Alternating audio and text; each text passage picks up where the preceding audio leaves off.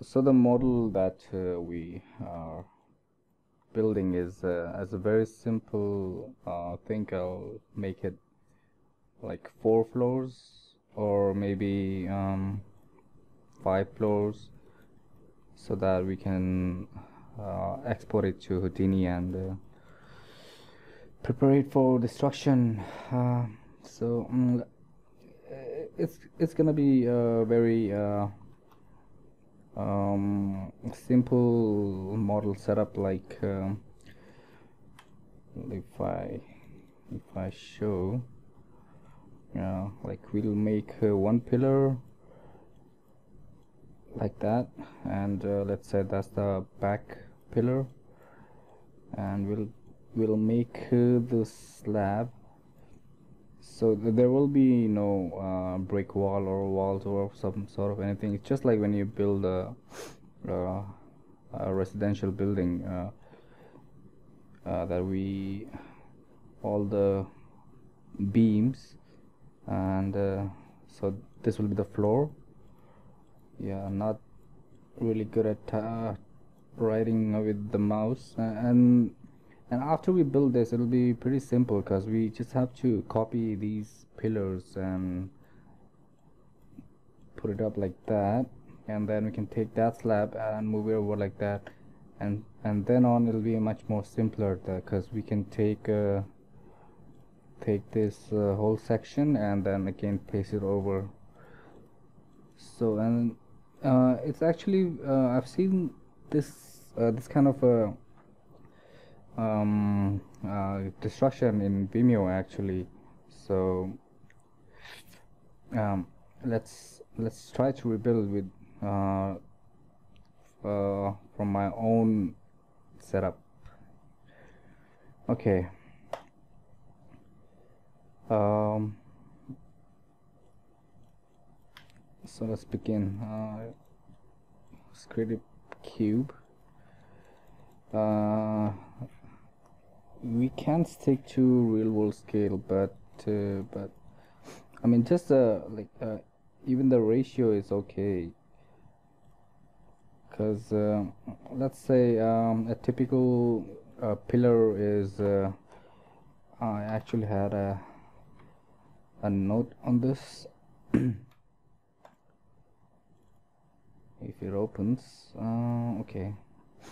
In United Kingdom house 2.4 the brick width. So width one centimeter. So let's keep it around uh, 3 not 3 I mean 0.4 meters. That's 400 centimeter. Okay width. So instead of 400 let's try 40 oh actually four four is fine. Yeah. And then let's go to the right view and uh, just position it so that it's on the floor.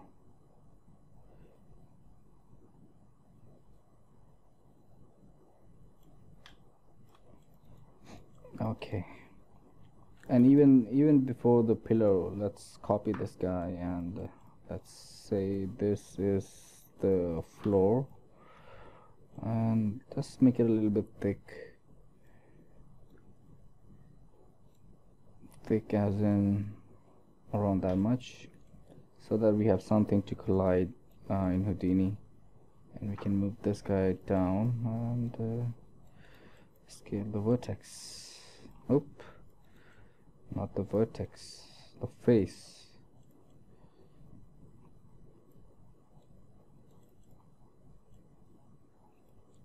let's say this is our floor.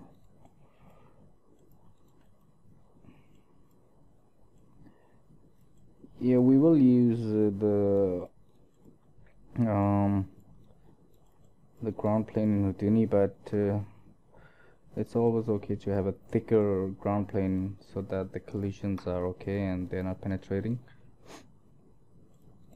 Uh, okay so let's put this in a new layer and make it template sorry reference so that we we don't select it by mistake. And let's go to right view and uh, go to for wireframe. Position it so that uh, it's almost on top of the floor. Okay. So let's hide this guy for now. So that's our pillar thickness and and also uh, default height is around uh, something around uh, three meters I think but but since we're not doing it like real scale but the basic ratio should be okay. I think this much height is okay for the post. So that's one of them and let's position it uh, somewhere here let's say 40 or 45 and uh, okay. Okay this is the beam all right? So uh, we will be uh, duplicating it all over the scene. Uh, so it's good to even before I duplicate I think I might wanna add a little bit of uh, edge detail around this border so that uh, the light catches. So I'll just bevel it. Just put uh, two segments. And uh, a little bit of that is fine so that it catches light you know so if you render it and uh, we can see something happening in the edges. Okay now before that let's save the scene. Save scene as desktop temporary. Let's make a new folder. We'll call it uh, pillar and slabs. Go inside and we'll save it as uh, Maya Houdini. Oh. Maya Houdini um, workflow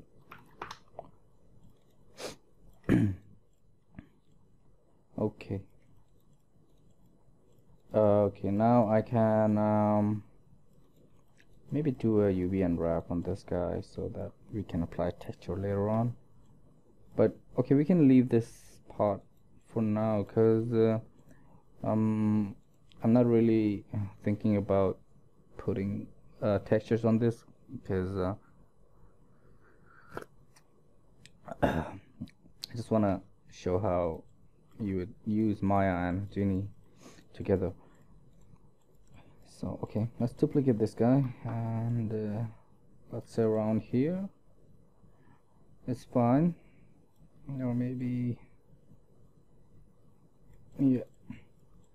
And duplicate this guy again and uh, make it uh, yeah like that. So that's our post. Maybe too wide. Okay. So now we want the slab. Uh, so we can grab this guy duplicate it and uh, move it up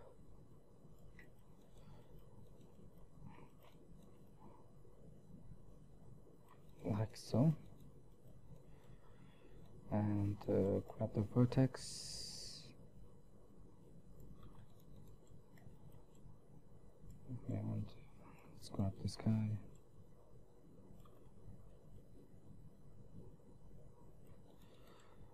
And let's grab this guy so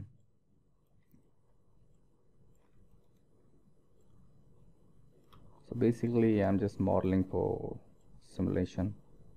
No penetrating parts.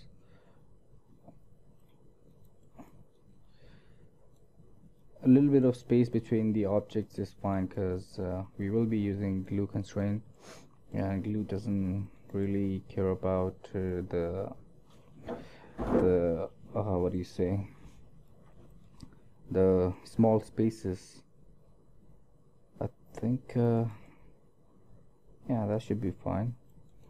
So like I said before now all I have to do is really uh, oh hold on. Even before that I'll just move these guys a little bit inside because normally in a building you see some part of the structure hanging outside of the beams. So so that it's structurally stable. Like so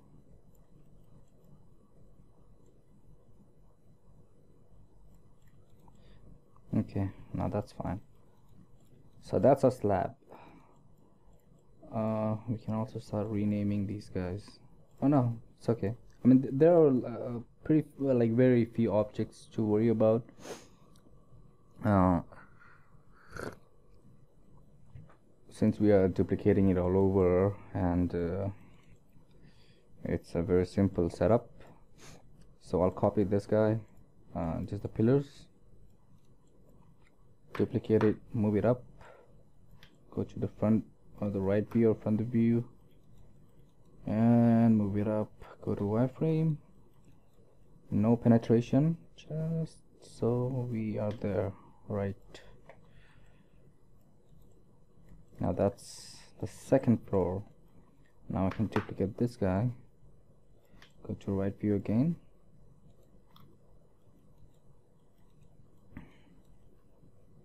And position it again.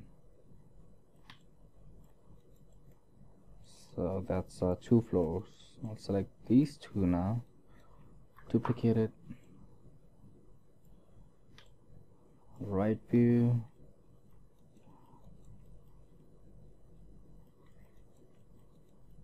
Put it right there. So that's one two and two more. Duplicate right view.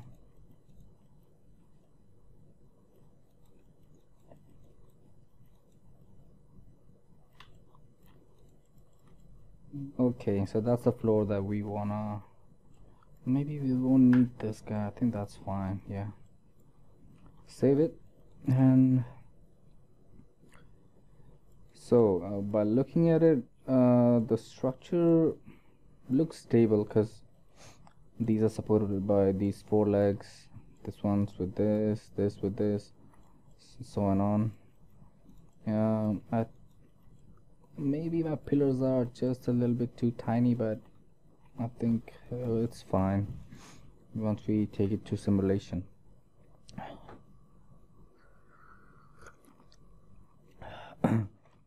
okay um so I think we are good to go to Houdini. I'm just wondering if I want to place one more right in the middle. Let's check.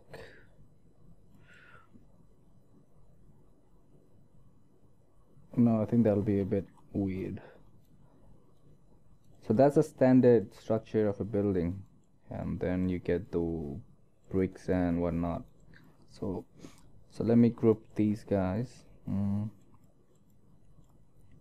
so I'll select everything edit delete all by type history and uh, sorry select all modify center pivot. And we can scale maybe no we can't. We have to group it first so with so with that because mm, uh, okay now if if we bring this into Houdini uh, this will be like way way way big. Because Houdini is in meter and Maya is in uh, uh, what do you say? In centimeter. What I mean is if I create a measure distance 2 I mean that's my observation. So if I measure from here to here. That's 39 centimeter in Maya but uh, in Houdini this will be 39 meter. So so the best would be to select uh, modify mesh uh, select all and we'll combine it. Mesh combine delete all by type history. Oh wow did I select the floor select mesh combine. Delete the history. And uh, let's go into the right camera and move the pivot. You press the insert key and uh, press the V key to snap we can move it uh, in the, the pivot into uh, a vertex. So that's fine. So now the so now we can scale uh, so let's scale it small.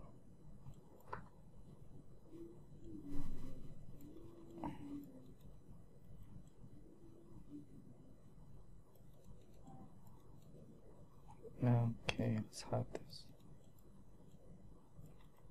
yeah I think this will be this is pretty fine I mean even smaller. We can also scale it back in Houdini. Ah, okay. Alright now we can mesh separate and mesh edit history. Ah, okay. Now let's rename stuff that we need we'll separate each uh, uh, we separate the pillars as one object and the slabs as one object. So we'll select these and we'll combine it mesh combine. We'll call it uh, the pillars. And we can delete the history so that's the pillars now the slabs we'll select these mesh combine. These are the slabs. And delete history. You see it's a very boring process of preparing the model but I think it's it's it's good idea to do that so that you'll have a much more stable simulation. So let's see I think we are good to go. Pillar slab. Now now let's select uh, the pillar. Let's export selection and let's export it to if it loads uh, to my temp directory in the in the where was it? Where did you go?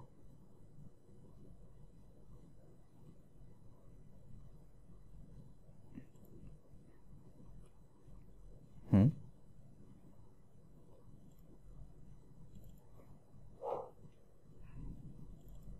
Yeah, pillars slabs. Pillars and slabs. We call it uh, merged pillars. Export. Now slabs export selection.